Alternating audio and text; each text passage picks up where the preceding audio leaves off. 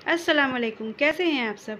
उम्मीद है खैरियत से होंगे। तो आज मैं आप सबके साथ समोसा रोल की रेसिपी शेयर करने जा रही हूँ। इसे बनाना बहुत ही आसान है, ये फटाफट बनकर तैयार हो जाता है और खाने में भी ये बहुत ही टेस्टी होता है।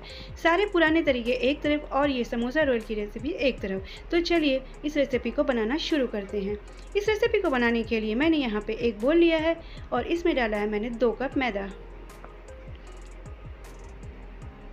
इसके बाद हम इसमें डालेंगे हाफ़ टी स्पून नमक। थोड़ा सा मैंने अजवाइन लिया है, उसको अच्छे से हाथों से क्रश करके इसमें ऐड कर दिया है। इससे इसका फ्लेवर बहुत अच्छा आता है और इसे अच्छे से मिक्स कर लेंगे। साथ ही मैंने दो चम्मच यहाँ पे ऑयल लिया है। ऑयल की जगह आप घी भी ले सकती हैं। अगर आपको क्रिस्पी बनाना है तो आप ऑयल का इस्तेमाल कर लीजिए और अगर आपको खस्ता बनाना है तो आप घी इसमें डाल लीजिए। अब थोड़ा थोड़ा पानी डालकर इसका हम एक हार्ड डो बनाकर तैयार करेंगे। जैसा हम पूड़ी और पराठे का डो बनाते हैं, उससे थोड़ा सा हार्ड इसका डो बनाएँगे हम। इसे मसलते हुए अच्छे से इसका एक डो बना लेंगे। देखिए, मैंने डो बना लिया है और इसको ढक कर हम 10 मिनट तक के लिए रेस्ट के लिए छोड़ देंगे। जब तक ये रेस्ट करता है, तब तक हम फिलिंग बनाकर तैयार कर लेते हैं। मैंने यहाँ पर चार बड़े साइज़ का आलू लिया है, जिसको मैंने बॉयल कर लिया है। अब इसे ग्रेटर की हेल्प से हम इसे अच्छे से ग्रेट कर लेंगे। ग्रेटर का इस्तेमाल करने से ये एवनली अच्छे से ग्रेट हो जाता है। मैंने आलू को ग्रेट कर लिया है, अब इसे किसी बोल में ट्रांसफ़र कर लेते हैं। साथ ही हमने इसमें ऐड किया है half teaspoon chilli flakes half teaspoon chaat masala और हाफ़ टी स्पून नमक। हाफ़ टी स्पून हमने इसमें ज़ीरा पाउडर डाला है और half teaspoon red chilli powder साथ ही कुछ हरे धनिया की पत्ती और टू टेबल स्पून कॉर्नफ्लोर इन सारी चीज़ों को अच्छे से मिक्स कर लेंगे। कॉर्नफ्लोर डालने से आलू का जो मॉइस्चर है, वो ख़त्म हो जाता है। देखिए, मैंने आलू का मिक्सचर को तैयार कर लिया है। अब हम अपने हाथों में थोड़ा सा ऑयल लगा लेंगे और थोड़े से मिक्सचर को हाथों में लेंगे। और इसके छोटे छोटे शेप जैसा आपको बनाना है, उस तरह से बॉल तैयार कर लेंगे। आप देख सकते हैं, मैंने इस साइज़ का इसे बना लिया है। इसी तरह से आप सारे बॉल्स बनाकर तैयार कर लीजिए।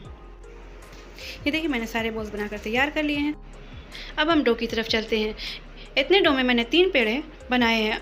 उसमें से एक पेड़ा उठाकर हमें बेलना है।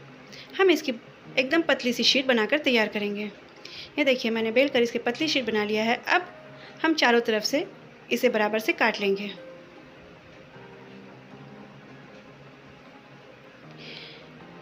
इस समोसे को बनाने के लिए आपको कोई अच्छा सा शेप देने की ज़रूरत नहीं है। आप इसे चारों तरफ़ से काट कर निकाल दीजिए। और जो हमने बॉल बनाया था, उसी साइज़ का आप रख कर एक एक कट लगा दीजिए।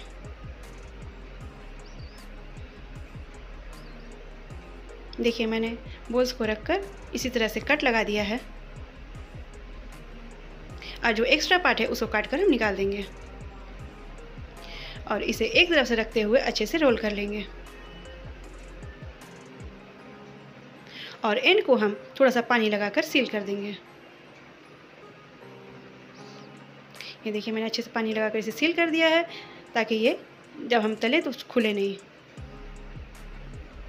अब हमने कढ़ाई पे तेल गर्म होने के लिए रख दिया है। जैसे तेल गर्म हो जाता है, हम एक एक करके इस समोसे को डाल देंगे।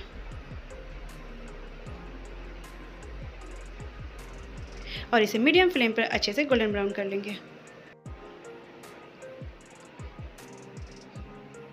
देखिए देखिए, इसमें हल्का हल्का सुनहरा कलर आने लगा है। बस इसे उलटते पुलटते हुए हम क्रिस्पी होने तक तल लेंगे।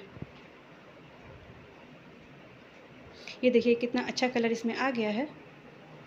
चलिए, अब हम इसे किसी स्ट्रेनर पर निकाल लेते हैं। आपने देखा, ये कितना झटपट बन जाता है। ये बहुत ही क्रिस्पी, बहुत ही टेस्टी बनता है। आप इसे हरी चटनी या टमाटो केचप किसी के साथ भी सर्व कर सकती हैं। ये देखिए, मैंने आपको इसे तोड़ के दिखाया कि इतना टेस्टी लग रहा है।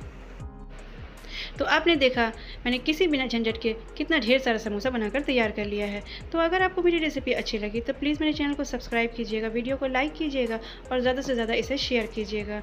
और कमेंट करके मुझे ज़रूर बताइएगा कि आपको ये रेसिपी कैसी लगी। तो चलिए मिलते हैं अगले वीडियो में एक नई और आसान सी रेसिपी के साथ। तब तक के लिए बाय बाय अल्लाह हाफिज़।